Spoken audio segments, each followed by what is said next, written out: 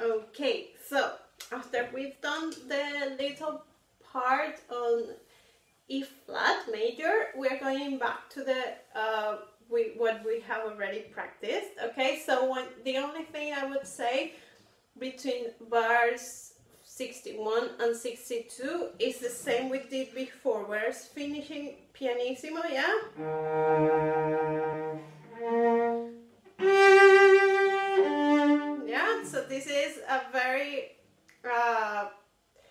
Not I don't want to say scary because it's not scary, but it is something that you are not expecting, okay? So be very um, go from the fingerboard all the way to as far as you can close to the bridge, okay, for that G. Then we know all that part, yeah? We just have, then the pizzicatos, they are just a little bit faster on bar 67.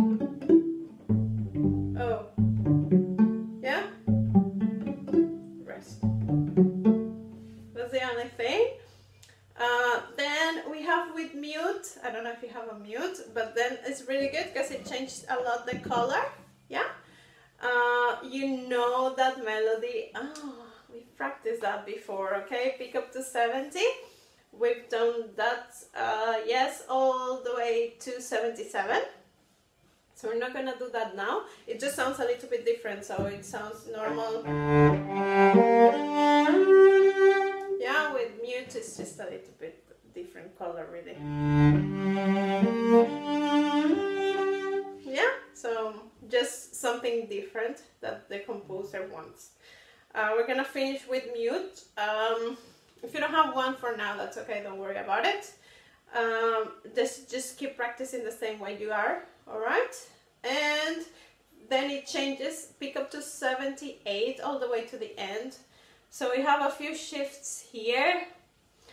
Uh, from You have from F on bar 79, from F to G on thumb position, and then you are in position, okay? So you will have to probably practice from F to G quite a bit.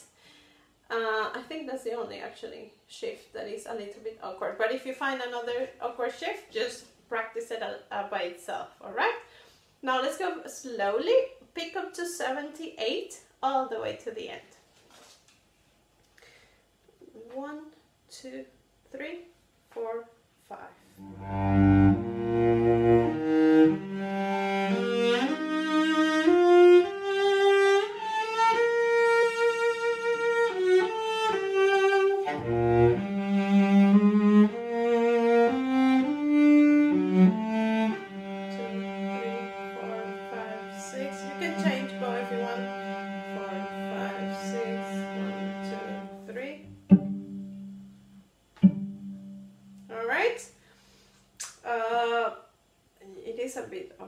part. Let's do it one more time. Maybe a little bit slower.